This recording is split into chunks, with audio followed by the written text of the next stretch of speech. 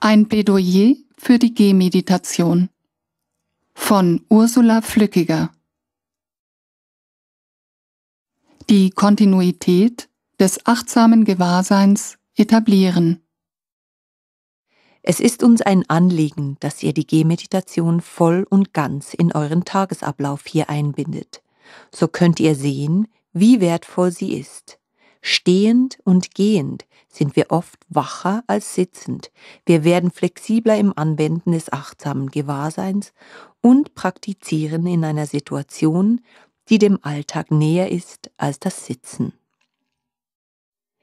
Einige betrachten die Gehmeditation wie ein Stiefkind. Das ist teilweise verständlich, weil sie nicht in der Gruppe geübt wird und jeder für sich allein dranbleiben muss. Es mag der Eindruck entstehen, dass es nur darum geht, frische Luft zu holen und sich die Füße zu vertreten, weil man nicht so lange sitzen kann. Gehmeditation verlangt aber mehr Selbstdisziplin als das Sitzen, weil der Gruppenzwang wegfällt. Beim Gehen praktiziert jeder für sich selbst und das stärkt die eigene Unabhängigkeit, denn wir müssen uns immer wieder selbst motivieren und klären, warum wir uns dieser Praxis widmen. In diesem Sinne möchte ich euch sehr ans Herz legen, auch diese Zeit und diese Form der Meditation auf eine gute Art und Weise zu nutzen. Die Gehmeditation erlaubt oder zwingt uns, präsent zu bleiben, unser Gewahrsein zu schulen und uns weniger lang in Gedanken, Wünschen, Tagträumen zu verlieren. Wir lernen Geist und Körper, die ja oft getrennte Wege gehen, wieder zusammenzubringen. Wir können beim Sitzen, Gehen oder Stehen innerlich völlig woanders sein. Hier haben wir eine ausgezeichnete Gelegenheit darauf zu achten, dass Körper und Geist wieder am selben Ort verweilen. Immer wenn wir solchermaßen ungeteilt präsent sind, beginnen wir zu erkennen, dass die Dinge sehr flüchtig sind und nicht so solide, wie sie uns erscheinen, wenn wir in Vorstellungen und Geschichten verloren sind. Die Form der Gehmeditation ist sehr einfach. Sucht euch einen Platz, wo ihr 10 bis 15 Schritte auf und ab gehen könnt. Das kann im Haus sein, in den Gängen oder draußen hinter dem Haus, wo ihr ungestört seid. Wir möchten euch bitten, die formale Gehmeditation nicht auf den öffentlichen, von außen einsehbaren Plätzen zu üben, weil sie für manche etwas eigenartig ausschaut. Beginnt die Gehmeditation, indem ihr für einen Moment still stehen bleibt. Wir stehen auch im Alltag sehr oft, sind dabei aber meist mit Denken, Planen oder Sorgen beschäftigt. Hier stehen wir und versuchen uns in dieses Stehen hinein zu entspannen. Wir spüren, wie es sich anfühlt.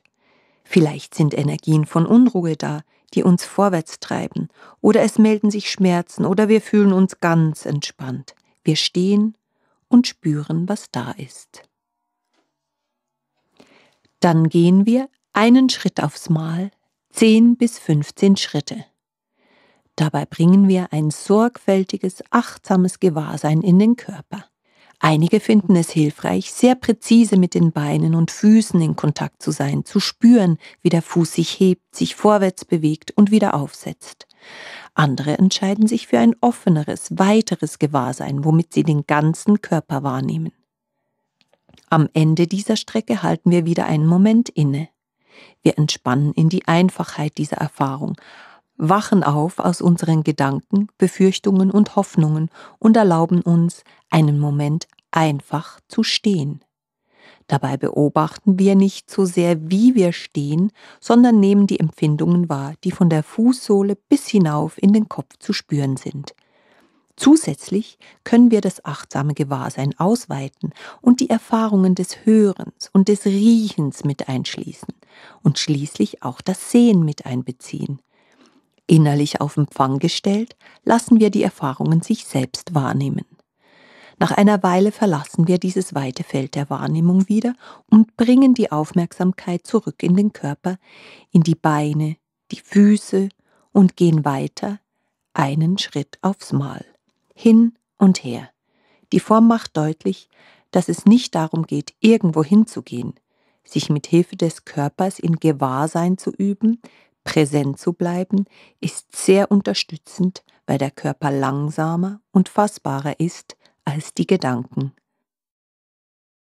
Das am besten geeignete Tempo beim Gehen ist jenes, das uns am ehesten präsent sein lässt. Das kann variieren. Wenn zum Beispiel Schläfrigkeit ein Thema ist, mag es hilfreich sein, etwas schneller als gewohnt zu gehen und dabei den ganzen Körper wahrzunehmen.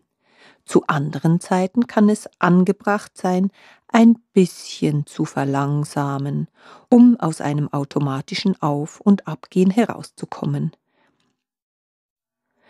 Manchmal fühlt sich die Gehmeditationsperiode sehr lang an. Dann kann es helfen, sich bewusst zu machen, dass wir nicht 40 Minuten als Block durchhalten müssen. Vielmehr ist es immer gerade nur ein Schritt, ein Moment, für den wir achtsam sein können. Wir spüren den Druck, wo der Fuß aufsetzt, die Berührung der Kleidung am Bein, den Wind im Gesicht.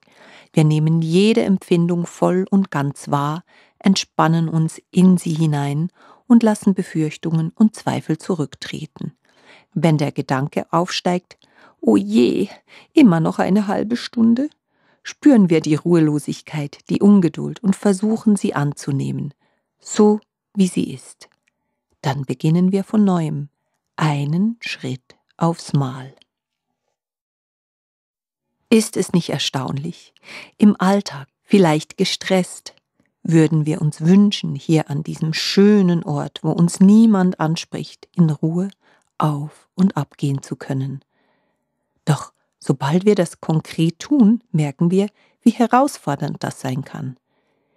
Wie beim Sitzen, so auch beim Gehen. Es gibt Zeiten großer Inspiration, in denen wir denken, fantastisch, ich könnte ausschließlich Gehmeditation üben und das Sitzen sein lassen.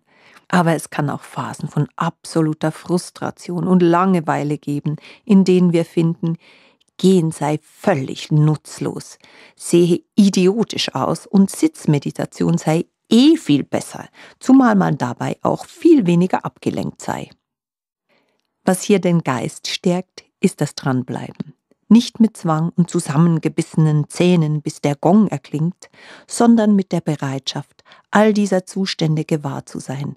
Inspiration, Langeweile, Freude, Ruhelosigkeit und den ganzen Rest. Dann verstehen wir, dass es nicht darum geht, immer inspiriert zu sein, immer Ruhe zu erfahren, sondern darum zu sehen, wie all diese Erfahrungen kommen und gehen und dass wir in einer großen Offenheit des Gewahrseins und der Gelassenheit länger und leichter mit allem präsent sein können. Darf ich eine Frage stellen? Was empfiehlst du für die Hände und die Arme? Wie hält man sie? Es gibt ja Traditionen, in denen genaue Instruktionen dazu gegeben werden. Genau, in meiner Tradition halten wir es hier ähnlich wie beim Sitzen, denn wir haben ja alle einen unterschiedlichen Körper. Einige finden es hilfreich, die Arme auf der Seite des Körpers zu belassen, wo immer sie natürlich fallen.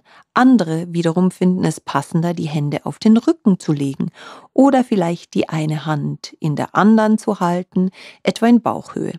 Letzteres braucht zwar etwas Anstrengung, kann jedoch helfen, wach zu bleiben. Wichtig ist, bei sich zu schauen.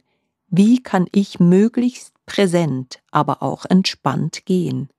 Dies kann innerhalb der 45 Minuten Gehmeditation variieren. Dies ist mein Plädoyer für die Gehmeditation. Für diejenigen von euch, die sie noch nicht kennen, ist sie vermutlich gewöhnungsbedürftig. Sie kann künstlicher wirken als das Sitzen. Beides kann man jedoch als künstlich oder natürlich betrachten, je nachdem, wie man es anschaut.